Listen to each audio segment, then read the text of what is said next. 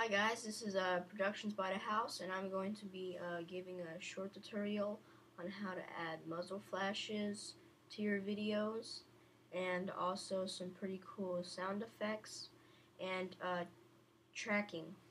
So it, even if your camera is moving, the effect will stay in the same spot.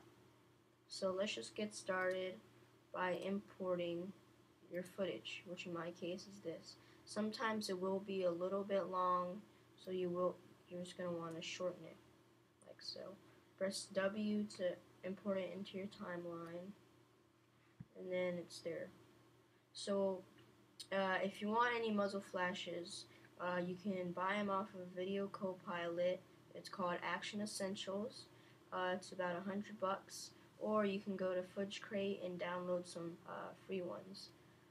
Um, so after you've done that and imported it, uh, uh, you just find it wherever event you put it in, and in my case, it'd be right here. So just click it. And okay, so just grab your muzzle flash and then drag it down to where you want it to start shooting, which in my case is when I pull the trigger to my airsoft gun. So then, as you can see, it's in the middle, which is the complete opposite of what we want. So press C, select your item, and then press this icon here, uh, which will allow you to make it smaller, make it bigger, move it around, and even turn it. So just maneuver it to where your muzzle flash is fitted with your gun.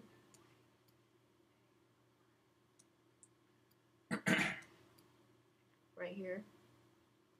So after you've done that, um, just say your camera's moving like mine, so the muzzle flash isn't going to be in that spot.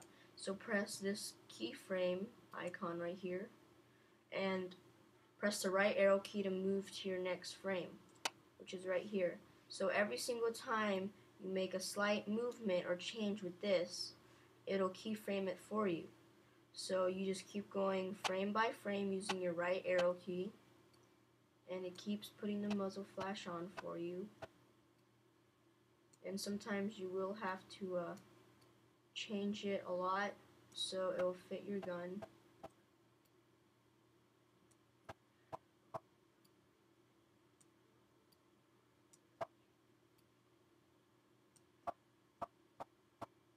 So when your muzzle flash runs out, sometimes your person will still be shooting, so you're gonna add an, you're going to need to add another one on. So unclick this, the icon, and go back and review your video to make sure you're satisfied. So if you're satisfied, then that's great. And the beauty about Final Cut Pro X 10 is that you can actually add have like a lot of um, different layers. So I could have like 10 layers on top of this one. So you just, if you want um, more muzzle flash, you just keep skimming through until your last muzzle flash is shot. Um, make sure your pointer or your timeline bar is right on top of it and press the right arrow key to go to the next frame. If you want a different muzzle flash uh, video, then that's fine, or you could keep the same one. So just simply drag it on top of that and then voila, you've got you've got more. But of course, you have the same problem as before. It's in the middle of your screen. So select this clip using C, and again maneuver it until you have it perfect the way you want it on your gun. Press the keyframe button again once you've got the first frame done, and press the right arrow key to track it with your gun.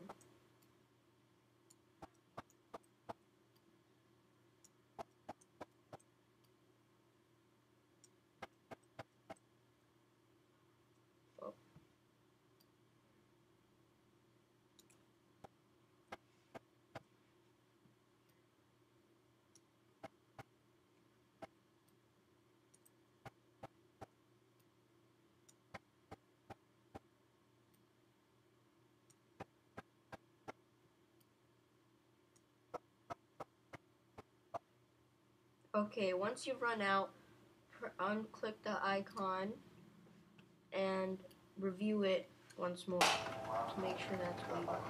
If it's what you want, now let's start talking about sound effects and how it's going to fit your clip. So, you should be able to import sound effects into your events.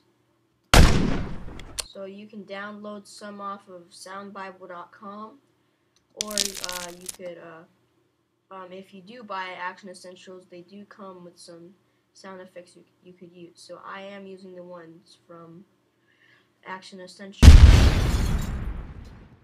So find the one you want. In my case, it's the machine gun burst.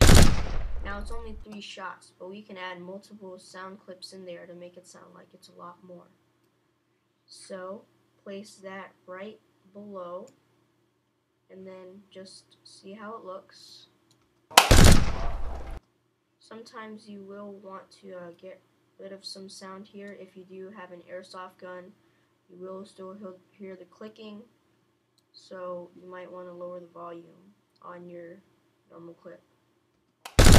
So, as you can see, it's only a three round burst. So go to the exact point where it's right after the three burst ends, and then add the same one in right below it and do this continuously until you fill it up so it'll cover all the muzzle flashes that you have.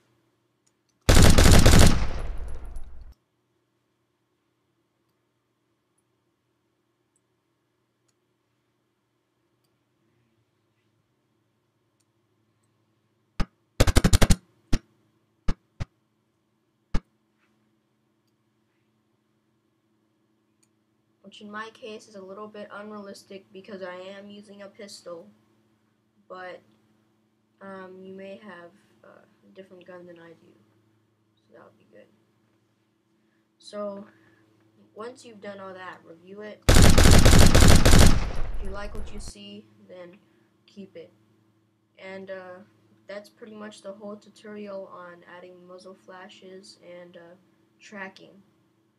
So um. Uh, please rate, comment, and subscribe.